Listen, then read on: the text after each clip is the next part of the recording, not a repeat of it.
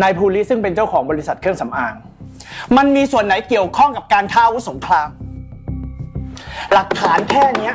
มันไม่พอหรอกที่จะบอกว่านายภูริคือตีโต้ตอนนี้เพชรน่าจะยังอยู่กับเขา เราควรขอหมายค้น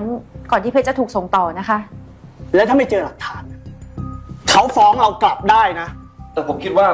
ตอนนี้มันอาจจะช้าเกินไปแล้วก็ได้นะครับ ผมว่าคุณสองคนเนี่ยไปทำหน้าที่ใหม่ที่ได้รับเถอะ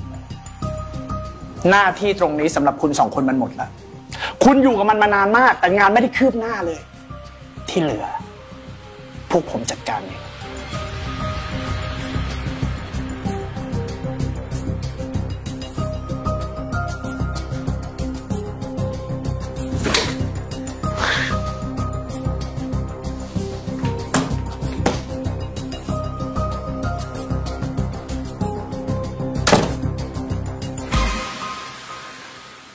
พูดไปได้ยังไง ว่าเราทำงานไม่คืบหน้า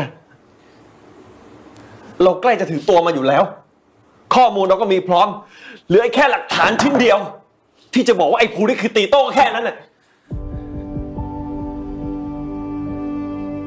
จะให้ฉันไม่ทำอย่างอื่นหรอ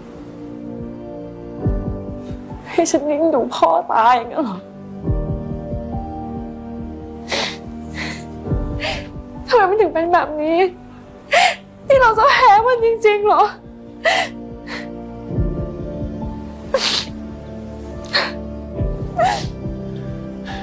คุณมองหน้าผมนะ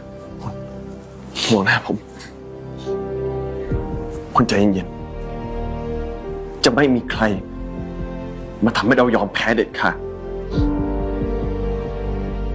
ผมจะไม่ยอมแพ้ ผมจะสู้อยู่ข้างๆคุณ